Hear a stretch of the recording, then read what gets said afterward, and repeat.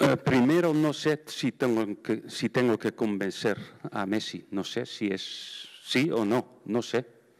Y claro, que es el mejor jugador del mundo y el mejor jugador del mundo quieres tener en tu equipo y no quieres tener en el equipo contrario.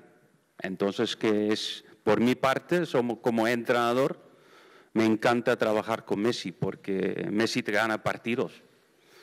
Y si saca rendimiento que él siempre ha demostrado, yo creo que contentísimo si quiere quedarse, pero yo creo que también tiene todavía contrato.